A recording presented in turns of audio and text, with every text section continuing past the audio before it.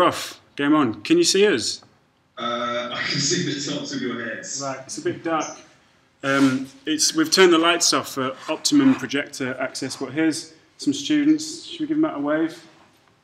Hello. There's some over there, but they're all like silhouettes. This could be an elaborate series of puppets I've made for myself, but I promise they're all they're all people. Yeah, I can see there's, there's, there's people there, but uh, I can't see you too clearly, which is probably for the best, it's obviously just freak me out. Absolutely. Um, could we ask for an introduction, please? Uh, yeah, um, my name is Matt Taylor. I'm an illustrator, and I have been for probably getting on 12 years now since I graduated, way back in depths of 2002, and uh, I spend my days drawing pictures. Okay, magic. Um, where did you Where did you study, Matt? Um, I went to Buckinghamshire Chilterns University um, down at High Wycombe, and I didn't study illustration. I studied advertising. Yeah, classic. Yeah, um, it was. Uh, it was not. It, it, took me three years to figure out I didn't want to work in advertising. So it was. Uh, it was a bit of an eye opener. I spent yeah a couple of years doing the wrong degree, but it, it did kind of show me that what I wanted to do was. Um, I don't know if you know much about like how advertising works, but it's generally you'll have two guys sitting in an office just coming up with ideas, and then once they've come up with ideas, they hand that over to someone else to kind of turn into an advert. So, oh, was there feedback on your end? Yeah, a little bit, but I'm not sure where from. It's gone now. We've Okay. only got one speaker, so it should be hmm. all right. Let's see what happens. Okay. Um, yeah. So there's a uh, like a team of art directors who come up with ideas, and then they hand them off to someone else and turn them into like a finished thing. And I found out what was happening was I was coming up with these ideas, and I actually wanted to visualize them, or to turn them into illustrations, or into videos, or into whatever. Yeah. Um, but I wasn't allowed to because that wasn't what the course was about. And what would happen is we'd uh, get in touch with other departments in the university and they turn our ideas into finished adverts. And I realised that I wanted to be within these other departments turning things into ideas and visualising rather than actually coming up with ideas. So I, I graduated and then promptly did nothing with advertising. Good for you. That's um, Yeah. that's that's interesting because I'd like to ask, ask you a little bit about how you got from from anywhere to where you are now in terms of the skills and the way you do things. But we will we will address that later on. I think looking at the schedule we discussed, the next thing I wanted to know was where are you? Oh, okay. Um, I'm at home at the moment in my studio. Uh, I live in Chichester down on the south coast. Um, yeah, I have a studio in my spare room. I'm just going to lift up the camera. Apologies, please, this is going to be really. Here we go. Uh, I just need to try and turn the camera around. No, almost there. There we go. Ah, nice. You've not experienced this before. This is like the future. Yes, the future of teaching. This is um, this is my studio where I work. Um, it's my spare room. I won't show you the other half of the studio, which is where my wife usually works, um, because at the moment it's kind of an impromptu bedroom uh, because we had a baby ten weeks ago, and so I'm sleeping in here a little bit. Congratulations. Thank you. Um, but yeah, this is um, this is my setup, uh, including illustration that's been happening right up until you called me. Amazing. Um, iMac, Cintiq, books, uh, shoes on the floor, Mhm. extensive book selection. This is where all the prints live that people buy. Uh, I think that's just about it. There's uh, that's comics down there which are waiting to be shipped. Um, that's, that's, that's basically where I spend my days. Amazing. Um, it's interesting to see like what you do and don't need. Oh, what? Ah, nice. Okay. Um, I Sorry, thought I'm back. Sorry, cameras are moving. trapped in the matrix. Um, have you? I mean, have you any urges for like more space or um, a different type of studio? Are you happy? Does this suit the way you work? I quite like working at home. Um, my wife's an illustrator as well, so we both work at home, which is which is lovely because we get to work with each other all day. Um, like I said, we just had a baby, so it means that I get to be around her growing up.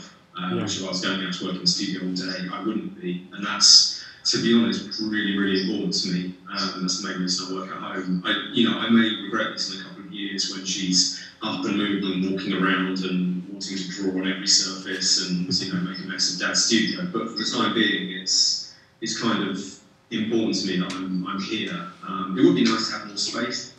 It'd be nice to have more room to kind of store prints and you know artwork files and just have a little bit more room to breathe. But to be honest, like I've got a pretty big desk here and I've got room to move around it. Yeah. I've got a bookcase, so happy. Did it take you a while to figure out what you do and don't need? Um, not really. It was uh, it, you kind of fill the space you have. Yeah, yeah. So uh, the last place we were in had a much smaller space, so we didn't have all the books. Um, a much smaller desk. You know, we've sort of expanded to fill the space. So uh, we have like stock. My wife uh, designs prints with my t-shirts and uh, things like that. So we've got some stocks now stored in the studio instead of you know behind a behind a bookcase Yeah, somewhere. under the bed. Um, so you, you kind of fill up to, to fill the space you have. Yeah, okay, it's magic. Um, uh, the next thing I wanted to ask was, do you have any artifacts or treasures we could have a look at? Ooh, um, hang on, let me have a look. Uh, I've got my Canon. it's This nice. is pretty good. Um, this is from the film Coraline. Um, a friend of the family was a uh, was the like one of the first unit directors on it. So this is a prop from the film. I think it was used to fire mice from in the movie. That's um, amazing. And now it was my pencils. We also have. I'm going to hold this up. I'm not sure if you'll be able to see this. Uh, Government property pencils. I'm not sure if you can read that. These belong to my granddad. He used to work for the civil service. Right. Uh, and these, probably date from about 1960s, 19, no, 1950s, 1960s. And uh, they're very, very rarely used. I occasionally use them for just like signing prints, but mainly for decorative purposes. okay. Nice to have a decorative pencil. Uh, also, on the subject of cool things, this came in post this morning. On. Which is a wonderful book by Kilian Eng. Um, it's worth checking out. I'll, I'll open it up and just see if I can. He does these amazing, there we go, kind of sci-fi 70s style illustrations. Oh, man. Okay. It's really nice. I, I would recommend seeking it out. How do you spell his surname? Uh, E N G. Right, okay, lovely. Um, he's on Twitter. He's on Twitter and Instagram. I think it's DW Design. Right, okay. Yeah, so he's, he's worth looking up in any case because he's he's crazy, crazy talented. Okay, smashing. Thank you for that. Um, that's a good thing. We should ask that more often, like recommendations. Maybe we'll come back to more of that later on. Oh, oh yeah, I've got a list. Got a list for you, good artists. okay. Um, so let's just talk about what you do. Um, can you tell us a little bit? I mean, in fact, if I pull up that website you showed us before, um, it's a difficult one to know where to start, but I want to know what sort of artwork you make. At the moment, it's a lot of posters and a lot of book covers, Okay. um, with a little kind of smattering of editorial illustration in there as well. Uh, that, that's kind of the bulk of what I do. I can see you doing something at the moment. So you Yeah. I'm going to just pull up the um, the the web page that you sent us. Um, I mean, uh, it's interesting talking about a, a practitioner's folio because I, I've, I, I mean, I'm- I've been aware of what you do for quite a while, and I've, I feel it's evolved and developed with time. But do you think there's a there's a there's an underlying principle in what Matt Taylor does, or why people come to Matt Taylor for, for work? Um, I hope it's the way that I compose images and kind of colour choices because I before um, when you when, you, first spoke about. I think there are a lot of people who do work which is kind of stylistically similar to what I do. Um, I'm under the notions that I am wholly unique in a way that, um, like say Drew Millward, who we were talking about just now, he has a completely unique way of drawing that is just a, an extension of his um, his personality Yeah, and it's it is totally his. But I know that there are lots of people out there who do work which is similar to what I do, um, which is fine because you can't be wholly. I mean, no one's wholly original. Um, but I hope that what brings people to me is the, the kind of way I compose images and the way that I'll I'll kind of frame things. Um, I think that's that's what makes me unique, and I think that's what separates me out from other people working in a similar style. Yeah, absolutely. I mean, I, I wonder as well. Do you feel that because of the the tools, the media, and the process that you employ, there's a certain and I, and I don't want this to sound in any way offensive, but there's like a ubiquity or there's like a universal nature to the aesthetic of what you do, and I think combined with such dynamic and uh, high impact compositions, it works very well to a to a broad audience. You know, like I don't see your practice as being niche necessarily. Like I think it, I think a lot of people can look at it and go, wow, you know, like Do you think yeah, that? well, that, that's that's kind of the point because if you want to do this for a living, you need to make money, and if you want to make money, you have to have people paying you to do what you do. If you do, you know, beautiful, grotesque, ugly drawings that are technically wonderful and that appeal to a small niche audience, that's great, but you might struggle to make a living off it. Yeah. Um, and uh, which isn't to say there isn't a place for it, because there's there's illustrators, a guy called Aaron Horkey, who's an American illustrator who does these wonderful kind of baroque illustrations, and they're super niche. And he's the only person who does work like that, and he, he you know, he absolutely kills it um, because he is so unique, and there's definitely room for that. But I think um, making, being aware of what else is out there, and making sure that you're kind of appealing to a reasonably broad audience, I think is a good thing. Yeah, yeah, absolutely. Um, well, let's let's. There's, we've got more questions about what you do. Um, you know, you talked about posters a little bit before. Ideally, where would you like your work to exist? kind of where it does now. Um, I'm really happy with with kind of how the career's going at the moment. You know, works in the right place, and people are asking me to do things that I find fun. Which you know, I, you know, I'm 12 years into this career, and uh, you know, first seven or eight was stuff which was paying the bills, but wasn't by and large particularly thrilling. Um, even up until a couple of years ago, I'd say that probably 50 60% of my work was work which was, you know, just being ground out to pay the bills. Um, and now I'm lucky insofar as that pretty much everything I do I enjoy. Yeah. Um, but it may not be stuff that I necessarily share or um, put online just because uh, I think you have to be sort of aware as an illustrator of your brand identity. Um, you know, everything you put out on the web can be seen, can be found. And I'm a sort of firm believer that you get asked to do more of what you show you're already doing, because art directors by and large are fairly um, narrow-minded in their view. If you haven't shown that you can do a certain thing, they won't ask you to do it. Yeah. So if you want to say, for example, um, I worked at I Love Dust for uh, 18 months, a couple of years ago, and one of the things I learned there was that they kind of mocked up projects. So they decided they wanted to design some illustrations for wine bottles, um, but they couldn't get anyone to ask them to do that. So they mocked up their own versions, you know, printed them, mounted them on bottles, and did some lovely product photography. Put them on the website, and then within a couple of months, people were asking them to do that because they'd Wow. seen them. that. That's very interesting. And I think that's fairly common. Uh, unfortunately, you have to show that you can already do something before people let you do more of it. Yeah. So going back to what I was saying before, if you fill your work with, if you fill a portfolio with work that's the sort of work you want to do, you stand a better chance of getting that work. Yeah. So if you want to do book covers, you you know mock up a bunch of book covers, you know, just self-set yourself projects to do that sort of thing, and show that you can do it, and then people won't won't have to sort of look at work and think, yeah, we like this, but can they do the thing we want? Yeah, yeah. Um, so yeah, I going back to what I was saying before that. Um, a lot of the work I do now, I don't necessarily put out because I don't feel it necessarily contributes to my kind of brand identity. Yeah.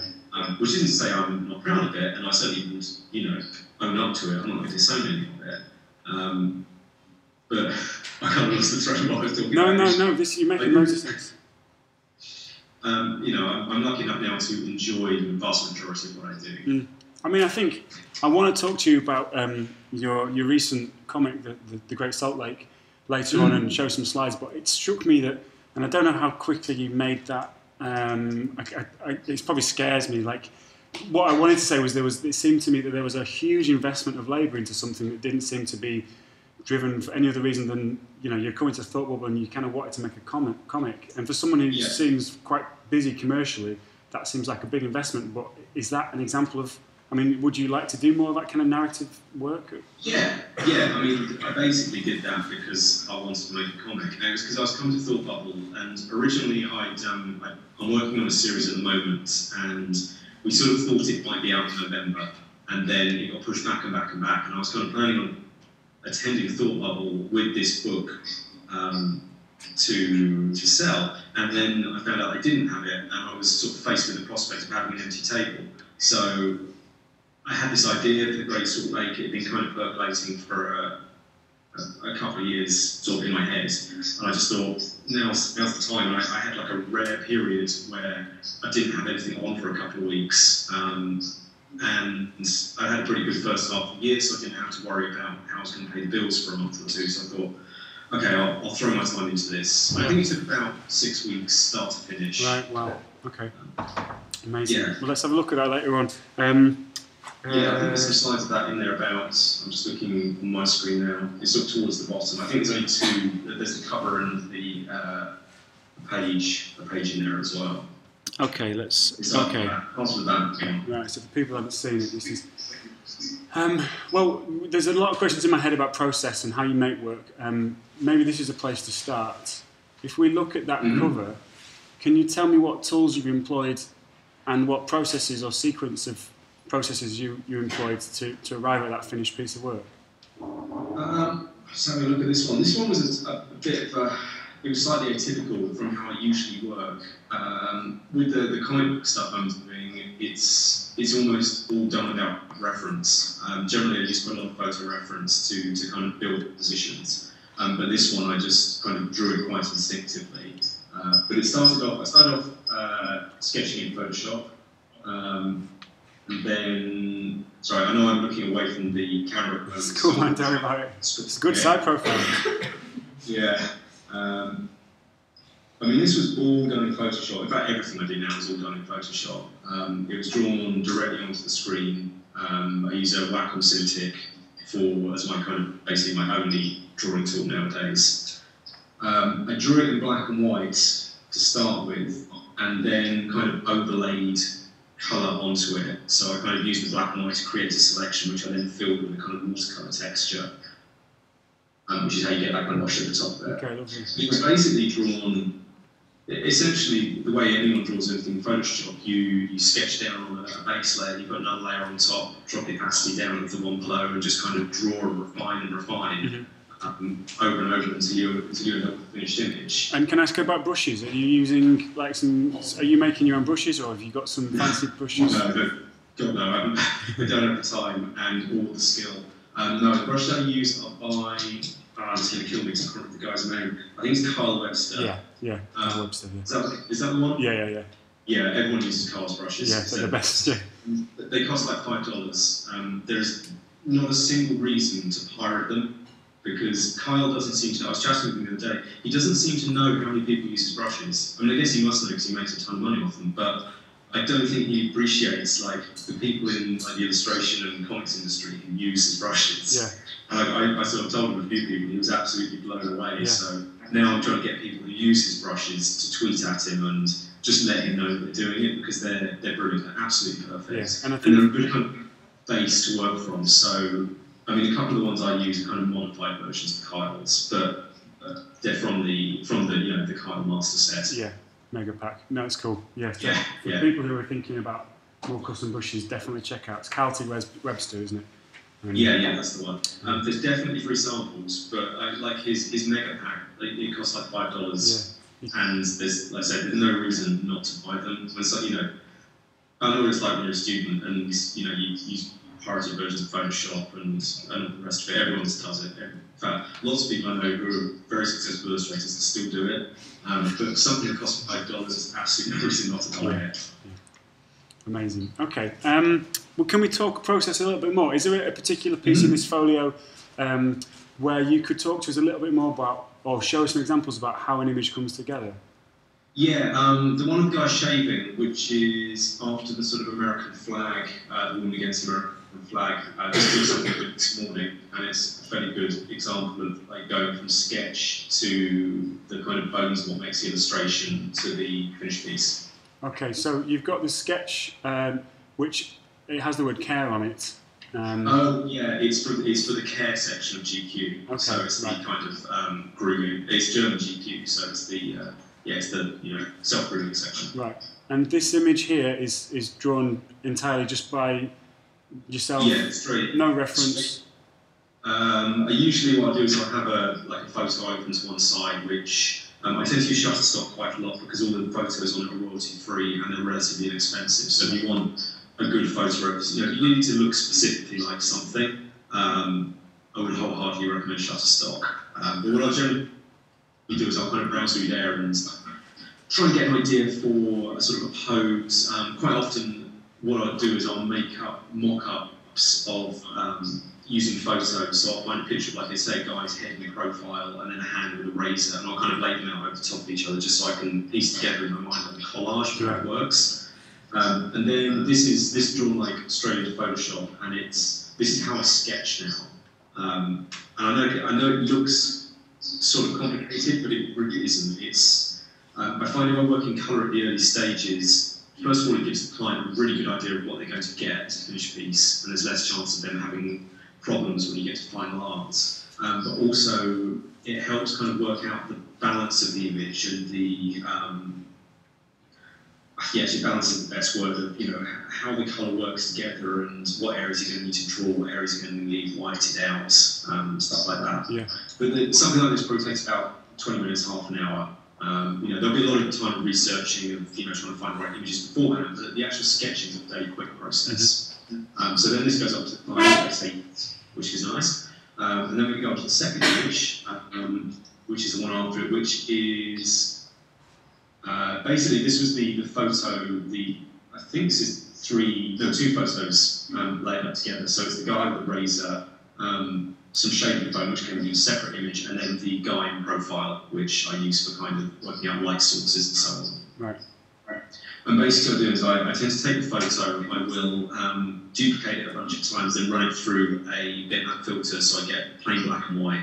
And it helps kind of isolate the areas of like intense shadow tones and highlights. Mhm. Um, so then I'll, I'll put this on the bottom layer of the drawing and whack it right back so I can keep kind of turning it on and off to kind of just get an idea for whether it's uh, whether it's working basically when I when I start drawing up. Um, and then we go to the next image, which is the artwork. It's not finished. Um, I've got to do this after I get off this call. Uh, but this is this is how it's looking now, and Right. yeah, I mean you can see clearly from this image to the last how I've kind of worked off of that and pulled sort of areas of my like. Yeah. Um, which I guess in some respects is tracing, but then I don't I know. think a lot, I think a lot of artists do. Yeah, no, uh, and I think there's- there's- I think going back to your first answer about your your kind of practice or principles in your folio, that the, the it's the knowledge in my mind. It's the knowledge of your composition and the balance of colours and the, the power. You know that foam to me like really jumps out. You know that, that's and again Mm. that red and the blue. It's very simple things but very effective. And I think it's the design thinking and the planning ahead. You talk about 20 minutes to do the rough, but the, the time invested before in thinking and planning, it, it really, I think, underpins where I think the successes are in this. What I'm interested in is, is it all brush? Like, the, you know, there's a crispness to the hand. Do you have to very carefully draw, like, the edge of the hand, and then do you just fill it in so it's flat? Or, Yeah, basically. Um, what I do most um, most of the times, I'll do it uh, 600 DPI, so it's super crisp. Um, but then I tend to work with like a reasonably small, like a 20 pixel brush, um, and then I'll I set. Um, sorry, this is getting really Photoshop tech. it's interesting. Uh, but I set it to a dissolve so that you don't get any anti-aliasing around the edge of where you draw the brush lines. So it means when you want to fill it, it fills in cleanly. Um, it's, it's kind of a screen printing sort of technique that I use because when I'm doing artwork that's going to be screen printed, if you have anti-aliasing, it kind of messes up where you uh, select the colours that draw the screens out of. So if you do it with like dissolve edge, it means that you just get the um, you just get like a pixel edge rather than anti-aliasing. Right, okay. And you can set dissolve in the um, Uh, in the drop down. Yeah, yeah, it's um, sorry, I was looking at the screen now. uh, yeah, it's, it's at the top. So if you go to the brush setting, um, it's on the mode, got normal, and then dissolves the second one down. Right, that's really useful. Thanks, man. We're, we're, It's all yeah, right. we're, um, All about sharing the knowledge. Yeah. Okay. Um, let's talk more about drawing in general because I think there's another thing here that we kind of are really whizzing by, and that's that you you are a draftsperson and drawing, you know, clearly is something that you've developed. Where's your your relationship with drawing come from? What's informed it? What's what's good practice for you in terms of drawing?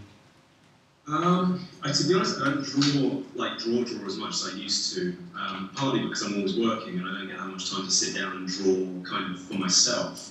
Um, to be honest, it's just practice. Like I've always drawn since I was little. Um, I've always drawn, and this is just it, it's Malcolm Gladwell thing. It's ten thousand hours. You do it long enough, you get good at it, basically.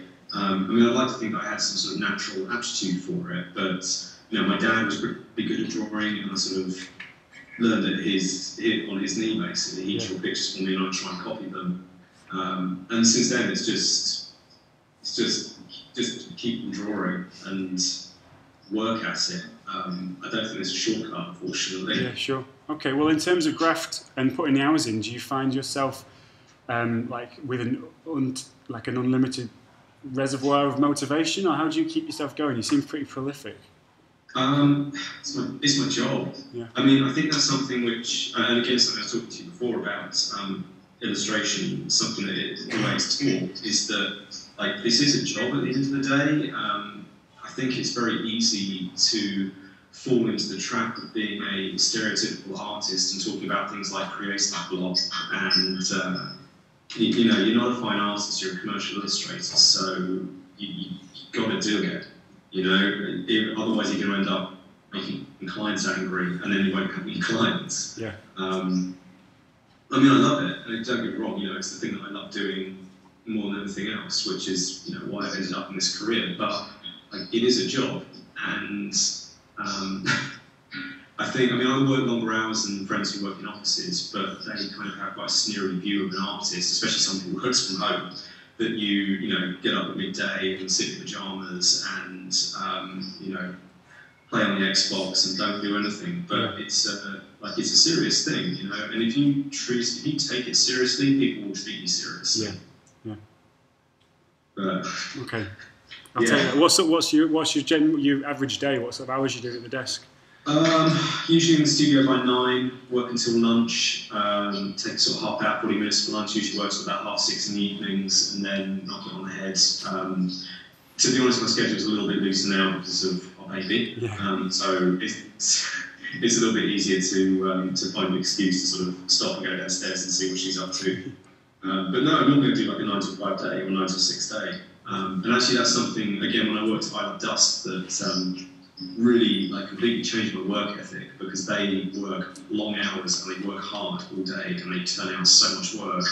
And I went from um, before I worked there being you know reasonably successful, reasonably prolific to coming out at the other end and just thinking, God, there's so much more I could be doing with my time. I could be producing so much more work. Um, so I do. Yeah. You know, if if a job's not due until Friday, I used to be the kind of illustrator who would leave it until Thursday before thinking about starting it. Whereas now, a brief comes in and I'll get to it straight away because if you can get it over to the AD three days early, then fine, you can invoice jobs out the door and you can get on to the next thing. Yeah, yeah, absolutely. Um, hmm. Do you feel um, do you feel like your work is still evolving?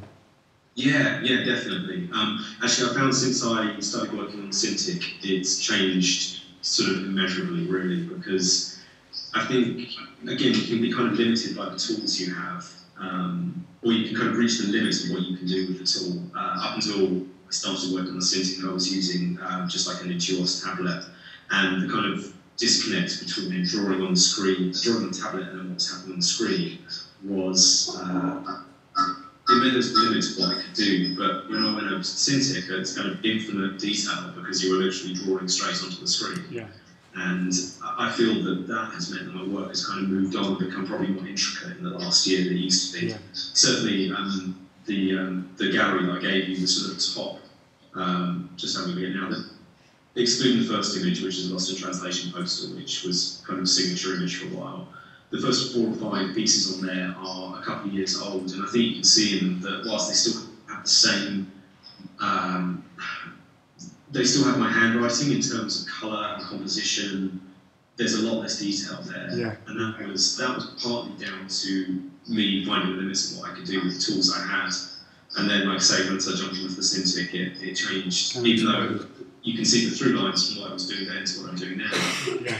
definitely moved on. And I can see it moving on again. I mean, I'm sure at a certain point I'll get tired of doing really, really detailed illustrations and want to strip it back and do something super simple again. Mm. In fact, I can almost feel that kind of coming on now. I sort of feel like I'm reaching saturation point with the kind of intense detailing and things. Um, in fact, the last image on the um, on the gallery, Back to the Future one, um, which is something I'm working on at the moment. Um, just going to pull it up on the screen so I can see it. is uh, it's taken me ages to do it, and like in my mind, it's reaching a slightly too intense level of detail um, to the point where I'm getting frustrated that it's taking so long. Yeah.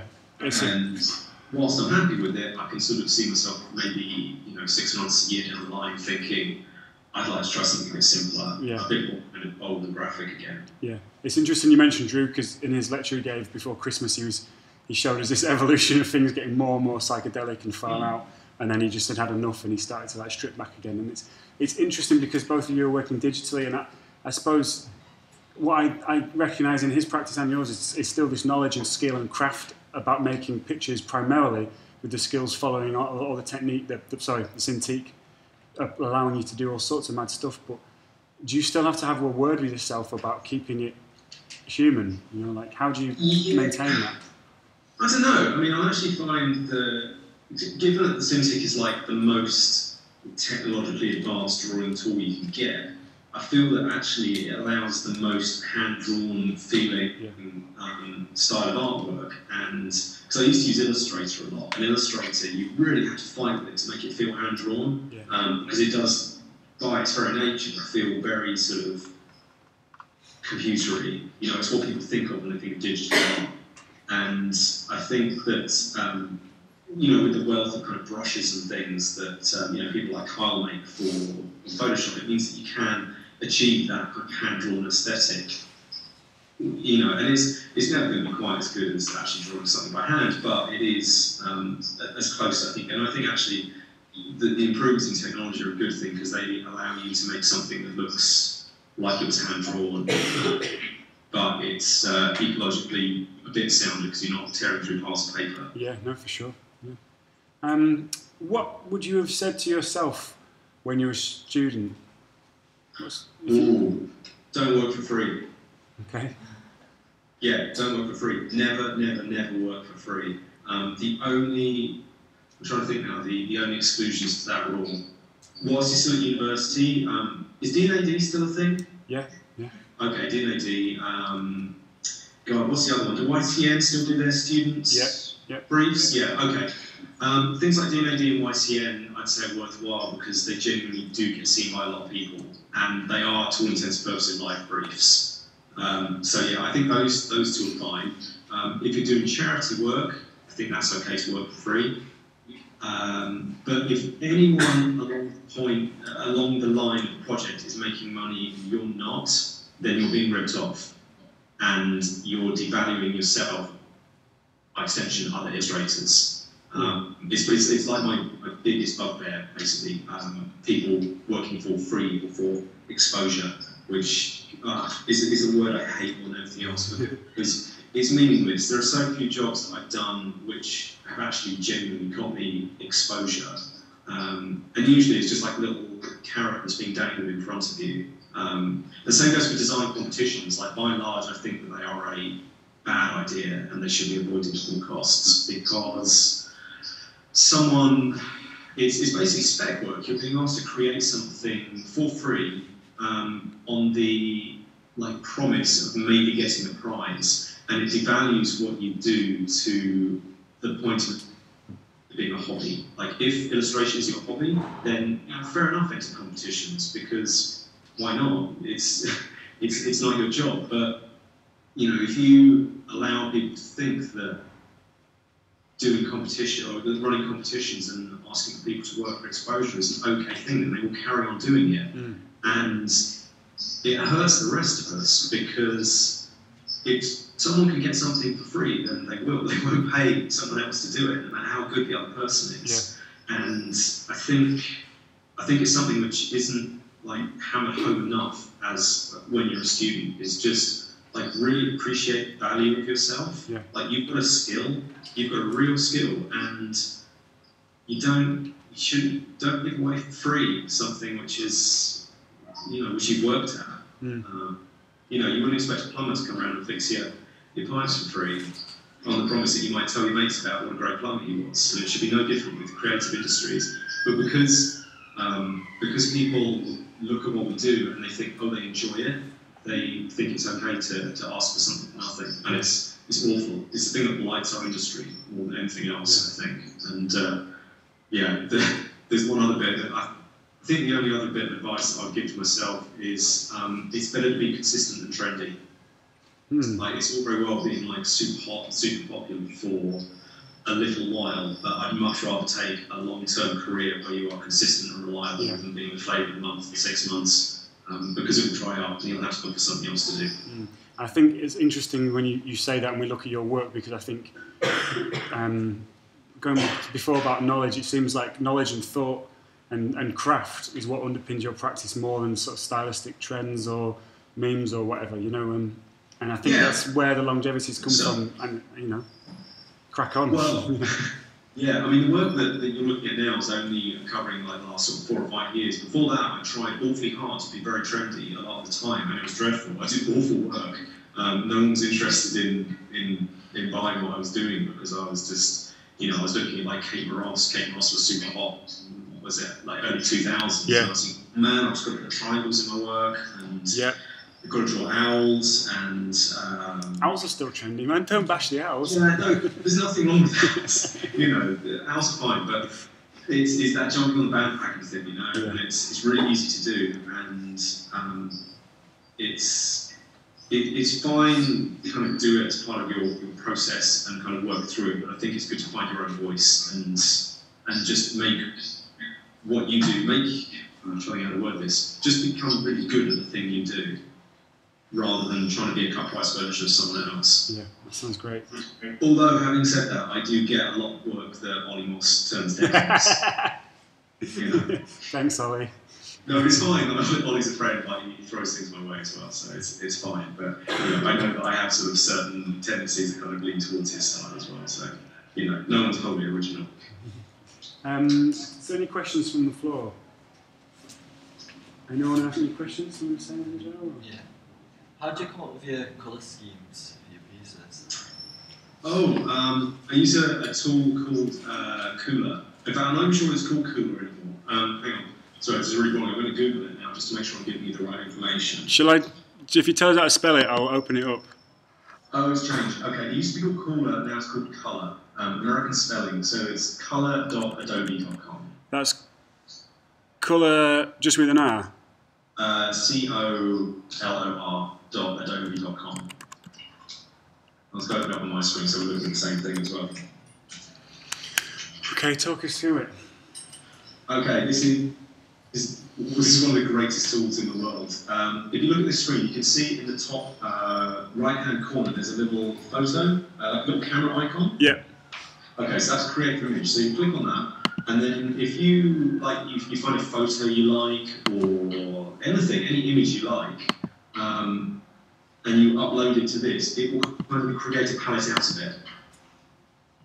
Okay. Uh, I'm just doing it at the same time as you. I'm, I haven't got many photos on my desktop at the moment. oh, That's great. Yeah, um, and then you can kind of go through it so you can have um, like bright versions, uh, muted. You know, you can see all the options on there. I'm not going to read them through to you, but it's it's insanely useful. And it's um, so well, normally what I do is I'll go through Tumblr and you know usual aspirational blogs, and I'll pull off images that kind of speak to me in some way that I think that's got an interesting tone to it, Mm. and I'll just stockpile them. And then when a project comes in, I'll sort of try and link it with a photo that I found previously, and then I'll run it through Kuler just to generate like a really nice, you know, five color palette, and then kind of ex- extrapolate from there some additional colors to add into the scheme. You know, maybe add in a, um, a bright kind of pop color to go against the colors which are there. Um, but yeah, I mean that's this, this is my my favourite tool, and I'm sort of slightly loath to, to share it with everyone. But, okay. Well, I you mean, know, interestingly, I suppose. it again. It's all about finding the right photos. Yeah, yeah, absolutely. Images to take colours from. Well, that's what I was going to say. Do you ever, uh, have you ever sort of taken your own photographs or put your own stuff into it? Yeah, yeah, definitely. Um, you know, I, you, everyone has an iPhone or similar, so you always have a camera in your pocket. So if you see something that interests you, you just kind of snap it. Um, I mean, I've got thousands and thousands of photos which are just sort of waiting for the right project to come along. I mean, the irony is I end up going back to the same four or five palettes most of the time because they are my favourites. Uh, but it's it's very helpful. I mean, the um, the shading image that we were talking about earlier, that one was um, that needed a very different palette. Uh, my usual colour scheme because the client specified they wanted it to be different to the one I gave last month where I used my usual colours. So I, you know, went into the image folder and tried to look for something that was, um, you know, suitable basically, Yeah, yeah. and I deliberately looked for an image that was kind of against my usual usual palette. Amazing. Um, any more questions from the floor? No, good. Uh, all right. Um, I wanted to end then, Matt, with asking you about the difference between uh, illustration and great illustration. Uh, Ten thousand hours. Right. Okay. just work, just work and work and work and work and work and keep drawing. Um, it's you know it, you never reach an end point. It's uh, a constantly evolving skill. So keep drawing and and you'll get better. Basically, Okay. We love that. Thank you. It's uh, No easy to take on. Um, I think we've got one more question here as well. Um, yeah, so you were talking about, I'm not quite sure what place it was that, anyway, like, I was that place where you sort of, how you improved your work ethic, you know, how you sort of got yourself into that situation where, like, okay, I'm going to get up at nine, I'm not going to stop till six. Was that something that came gradually, or did you find a specific way of getting that?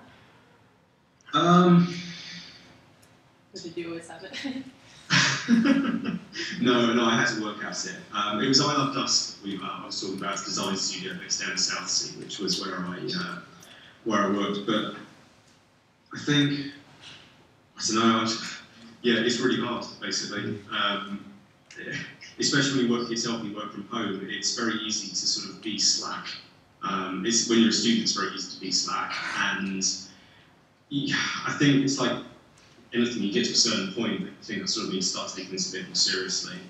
And, uh, you know, for me, like, in my head, the kind of office hour mentality was something that I just felt I needed to, uh, I, I needed to try and stick to. And, you know, being at I Love Dust was just, just such an eye opener because uh, they really do treat exhibition like production line, um, which, you know, is the thing away from the that kind of stereotypical image of the artist as the kind of tortured creative who, uh, you know, labours over every every sort of detail, every little intricacy. You know, there it was very much a case of get the job in, get the job out as quickly as possible to make it cost effective. And you know, I think that's something which uh, young illustrators should certainly think about. I mean, you know, you're young, got time to make mistakes and sort of find your way of working. I certainly wouldn't you know, be so bold as to say that this is the way for everyone to work because you know it's not. But it worked for me, and it works for a lot of other illustrators I know. Um, I don't know if that answers the question. Be honest, No, no, no. That's good. Okay, Matt, this is great. Um, I think what we'll do is uh, is uh, thank you with a with a round of applause and uh, uh, a goodbye.